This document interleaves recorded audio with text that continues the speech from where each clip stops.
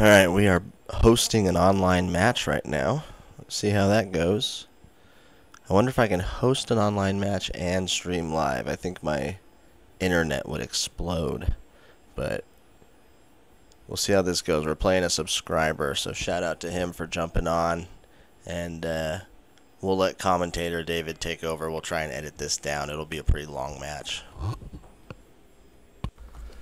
Alright, got an interesting one for you today, and I knew I was pretty screwed right after this. I'm playing a subscriber in this uh, little uh, stroke play 18 holes around Yellowstone National, and we're jumping right into it. And uh, I played okay on the front nine, had some really bad blunders and stuff on the back nine, and we'll obviously get to see all that. I'm showing his shots as well, and uh, the guy can hit it. Um, he's pushing like 165 ball speed, 170 ball speed, and really moving it out there so the the drives eventually catch up to me. Um, quite an advantage here. He hits a pretty good shot in, just goes a little long. I believe he has a Garmin R10 as well, so it's a pretty fair fight as far as equipment. And I come up with a really good first uh, sequence there for an opening birdie. He may not have a Garmin R10 now that I think about it. Just a GSPRO user, I think. Par 3 second was 224 from the tees we played. Uh, I think they were the blues, but we both did the same thing. Pulled it left.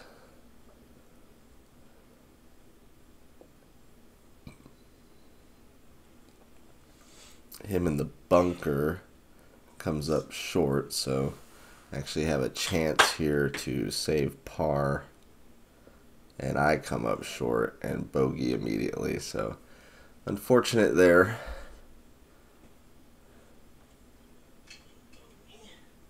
He's also going to do that. So we go bogey, bogey.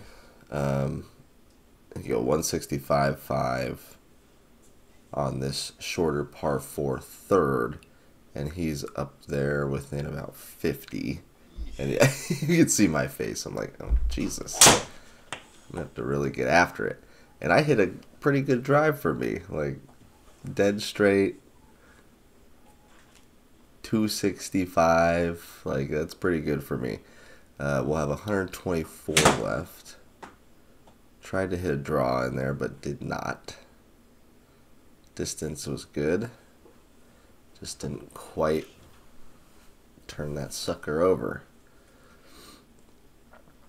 From 52, he also pars, so so far we're even, even, even, even through three. His next shot, he's going for the green.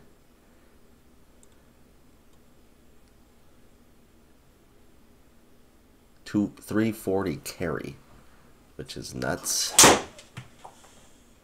I get lucky. Like, I aimed not at these geysers. Um, luckily, they let me hit from the geysers here, 110. And I hit that really good. 108 carry on the raw, but it out of the deep rough, I didn't get quite as much uh, flight on that. He comes up short again on the chip. Then gets the next one in. And we are still even. 168. He's still got the tee box. Good shot, middle of the green. Little kidney green here at the fifth. Par 3 and 168. The pin's over there in the right. I thinned it. And that was just a terrible swing. I looked really off balance there. I'm going to need some help. No. Bogey there, plus one. He's plus one with a long putt. He crushes this. 2400 spin, 168 ball speed, 350. Like, yeah, all right.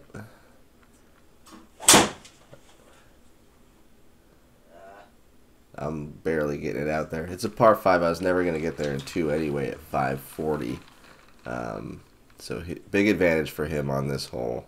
It's going to be a 3 wood for me. Kind of sprayed it out to the right. And hopefully not in front of this tree.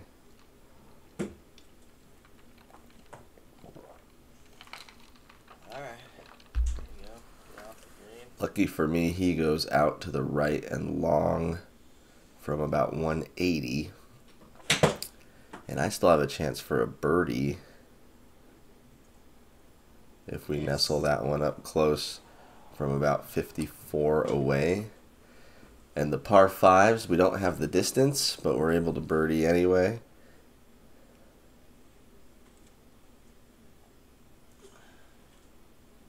He did not make it in there. So he's now plus one. So we are winning at the moment. And then I go three putt immediately for a bogey. Not even close. He doesn't hit a great one either. But he's going to be within a par. And so we're tied again. Hole goes to him. It actually is a pretty good match up until I don't know the the tenth or something. We can watch me kind of fall apart here. actually thought that was a decent drive, but that was quite a long distance to carry here on this par four. 200 left, and I pushed it out towards the water. Just didn't really commit to the turnover. he was way up there, but also came up short and right. And then came up short again, so he's going to bogey again. And I need to get it back there to par. And I cannot. I look like an idiot throwing the ball around. so we both bogey again. We're plus two, plus two. We're both right in there. This hole, I can't believe he carried this bunker. Um, 306 yard carry. It's quite the line. You can see me getting the front foot off the ground and trying to. I'm like, uh, it's not helping. I'm actually swinging slower. So, smooth is fast slow is smooth and smooth is fast, or I don't know what it is. Trying, excuse me, trying to get it back there. Not necessarily doing so. And then he hits a pretty good one just outside of the birdie range. So we push on that one. Plus two, plus two. He takes a crazy angle thought he was going to draw. He gets lucky that he carries it 344 down the hill. I think I actually hit a pretty good one. Didn't quite get the ball speed, but spin low enough and 115 left is fine. Should be able to hit this close.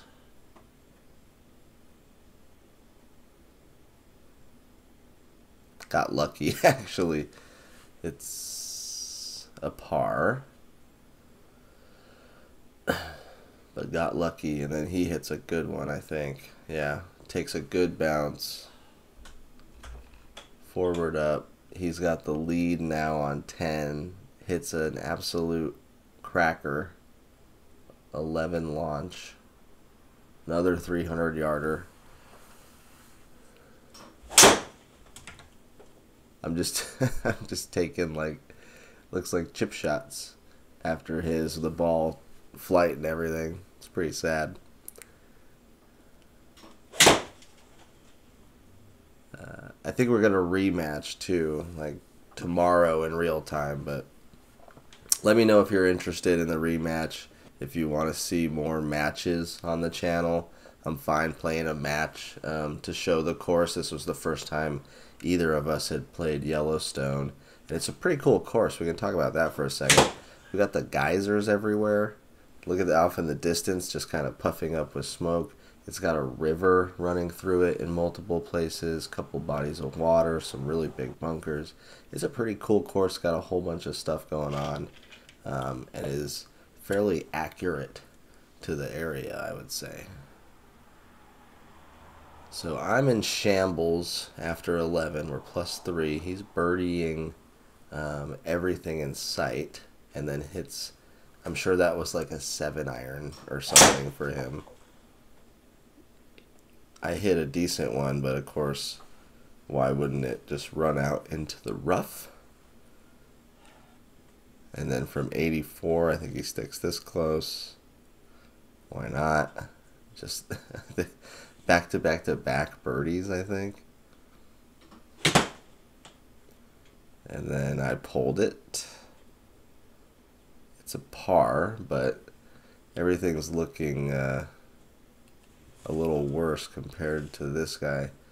I even thought that I could probably go for this green. He probably hit, I don't know, a five iron or something stupid. Got all the way back there. I'm, of course, got to hit driver. Somehow misses that tree. Somehow misses that tree. And we're safe. 50 away. And we screw it up. Brutally short. He's only got a chip shot. It doesn't get there, thankfully. He's going to par. And then I got to find seven. It would have been nice to dunk that and just like got one back there. But still plus three. This one, another big downhill. That was another cool part about Yellowstone. We got a bunch of elevation changes. There's a good look at it. Look at that.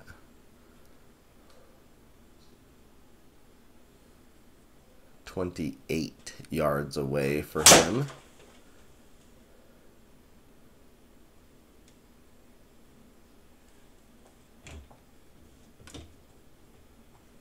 Like I'm playing that all day. I'm happy with that, and uh, it's just not even in the same realm.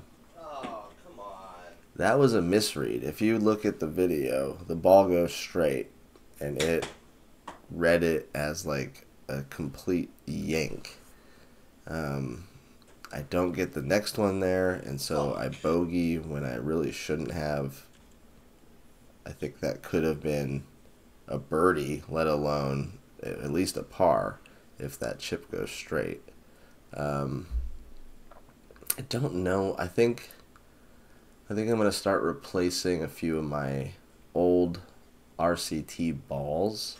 I'm wondering if they have some wear and tear on them that's affecting that because it has it happens again in this round and it may just be because I'm playing online and there's more going on and the the fans are running higher and there's internet going and whatever. But um, it was a little strange to have that one happen and then another one. Pretty rare for me i will say. I've taken driver on every hole. That one wasn't great he hits a bad shot. So, like an opening, I go to plus three and he goes to plus one. I mean, to minus one. And maybe we got something. Instead, come up super short. 8.4 away. He actually. He save par? No, he gets a bogey there. So look how straight that was.